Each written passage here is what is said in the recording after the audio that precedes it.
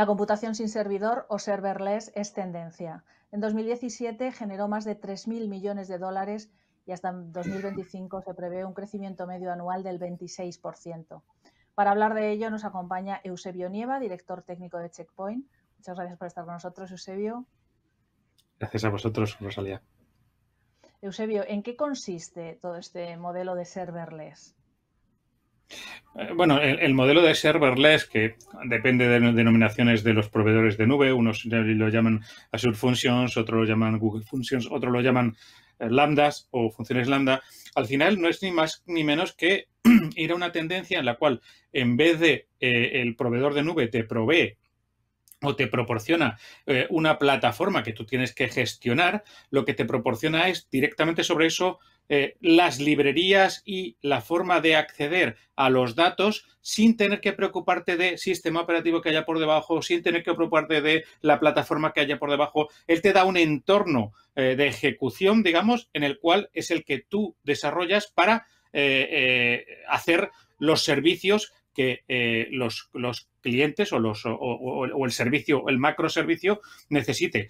Dependiendo de si lo que quieres es desarrollar todo un servicio completo utilizando eh, eh, funciones o lo que llamamos microservicios, pues será una arquitectura serverless o serán funciones serverless independientes. Al mismo tiempo, bueno, ofrecen todas estas ventajas que nos has comentado, ¿no? ¿qué, ¿Qué retos genera todo esto del serverless desde el punto de vista de seguridad?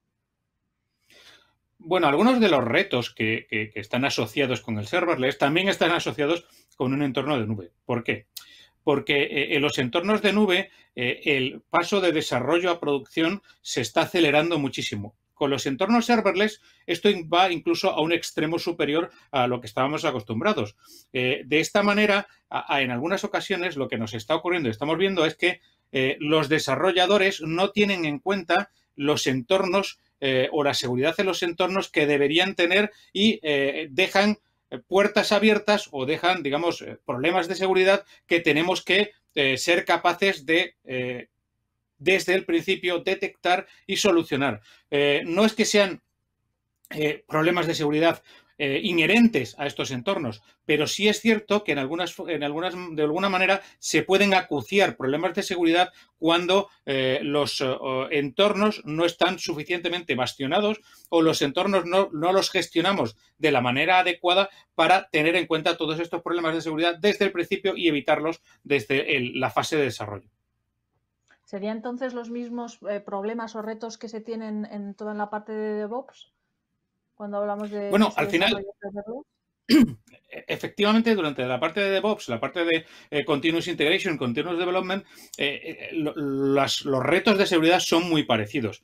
pero también son problemas de seguridad en algunas ocasiones muy conocidos, como por ejemplo la de no verificar la entrada de datos. En el caso de serverless, la entrada de, datos viene, viene marcada por eventos que son los que se encargan de hacer el triggering o, digamos, el lanzamiento de las funciones serverless. Si no verificamos cuáles son los datos que vienen embebidos ahí, es muy posible que tengamos los típicos problemas de seguridad precisamente que surgen eh, por un problema de seguridad o un problema de verificación de datos que ha sido siempre, ha estado ahí siempre desde el principio de los tiempos en la programación. Entonces, lo que tenemos que asegurarnos es que en este caso no solamente el problema es que accedan a datos o que nos ataquen eh, de una manera determinada para extraer nuestros datos, sino que también pueden utilizar nuestras funciones serverless como eh, generadores de CPU o como generadores de potencia de proceso al servicio de los atacantes. Tenemos que tener en cuenta todas estas fases de ataque y todas estas posibilidades de ataque para, ah, de alguna manera, solucionarlos como si fueran un único problema, solucionarlos como desde una única solución y que nos permita eh, evolucionar en el tiempo y hacer un seguimiento en el tiempo de, estos problemas. ¿Cuáles serían entonces las mejores prácticas o los mejores consejos de seguridad para adoptar en esos entornos serverless, Eusebio? Lo, primero es, eh, la educación de los programadores es fundamental en este caso, ¿de acuerdo? Pero aún así, ya sabemos que los, eh, los programadores están, eh, están, digamos, bajo una presión muy importante para hacer un desarrollo rápido y tener el servicio o los microservicios en un tiempo lo más bajo posible. Esto implica que puede haber olvidos, puede haber problemas conocidos, puede haber problemas de seguridad precisamente por esas prisas de ponerlo en producción. Entonces, lo que tenemos que abordar para solucionar estos problemas de seguridad es con una tecnología que nos permita hacer un seguimiento integral y que además esté especializada en este tipo de eh, implementaciones.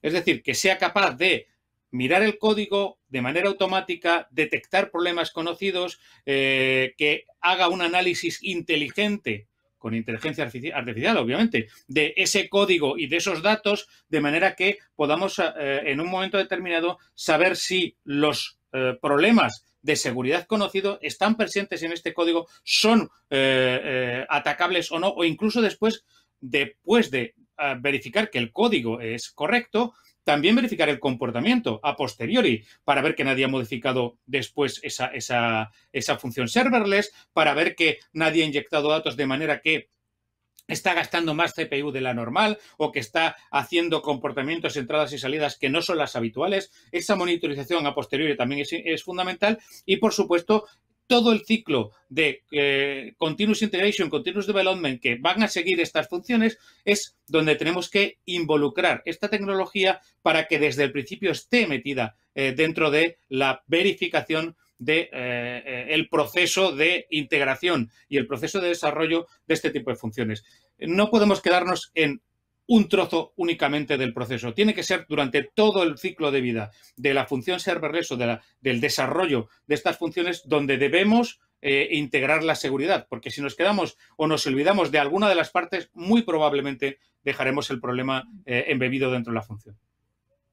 Muy bien, pues muchísimas gracias Eusebio por toda esta explicación. Gracias a vosotros.